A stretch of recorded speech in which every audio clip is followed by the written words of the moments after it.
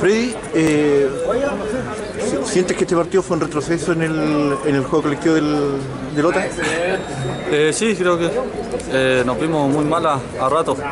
Eh, pedirle disculpas a la gente como jugamos, no creo que yo soy bien autocrítico y creo que no, no, no jugamos mucho, sino que más fue de fuerza, de garra, tratarlo de sacar adelante, después quedamos con 10, eh, nos costó mucho más, pero nos faltó mucho tener la pelota, lo, lo que veníamos haciendo el campeonato anterior de tenerla.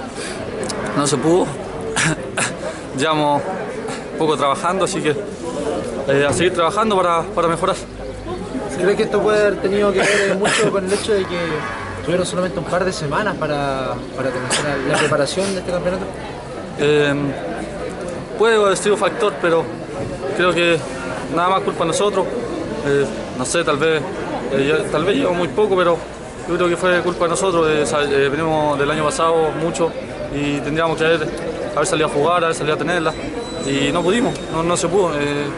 Bueno, se notó que no, nada nos pasó por encima, así que a seguir trabajando para, para mejorarnos. Freddy, el último partido de la temporada pasada te habían expulsado, está suspendido la fecha pasada y ahora una amarilla. ¿Preocupa que un 9 reciba tanta tarjeta? Eh, bueno, eh, soy un jugador de, de repente muy, muy agresivo, eh, que va al choque. Eh, bueno, trato de dejarlo todo, trato de dejarlo todo, eh, siempre con la pulsación a mil. Tal vez ahora una amarilla, vamos a tratar de, de mejorar eso, de, de estar más tranquilo a la hora de ir al choque. Pero ese es mi juego, tengo que ir a chocar, a, a tratar de ganar los centrales y vieron la, bueno, lo- lo- lo- la altura que tenía el otro central. Así eh, traté de hacer lo mejor posible, no se pudo y a seguir trabajando para mejorar.